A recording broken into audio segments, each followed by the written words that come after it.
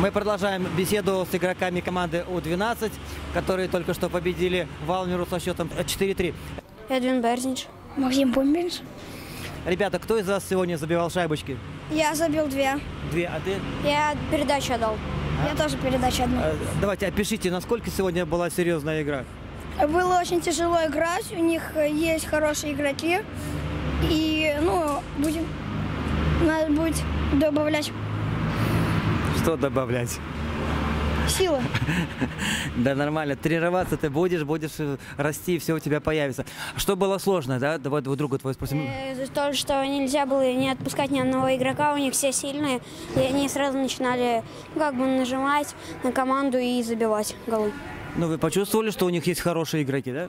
Да, у них, ну, один такой капитан более хороший, 88 номер, Том есть- Троцкий. То есть обычно таких можно считать как звезда, да, в команде? Да. Вот на сегодняшнюю игру, как вообще хоккеисты должны настраиваться на игру? Ну, сегодня утром тебя папа с мамой, допустим, там подняли, заставили пробежать 10 километров там или, Нет. или Ну, еду какую-то другую, может быть, давали. Ну, кашу есть, чтобы сила была Кашу больше. сегодня кушал, да? А у тебя сегодня какое питание было? У меня сегодня питание было обычное, но мне все говорят, ну, типа, что я центральный, и отпустишь игрока, э, забьют, тогда это будет только твой косяк, никого, не из вина всего. Так, и тебе дали что-то покушать? Не? Нет. Нет, то есть обы- ты ел как обычно. Да. А скажи, если, допустим, какое-то особое питание будет, у вас больше будет сил? Ну, смотри, какое. Ну да. А слышали про такой мельдоний? Да. Нет. Но если вы будете кушать мельдоний, вы будете сильнее? Да. А будете его кушать?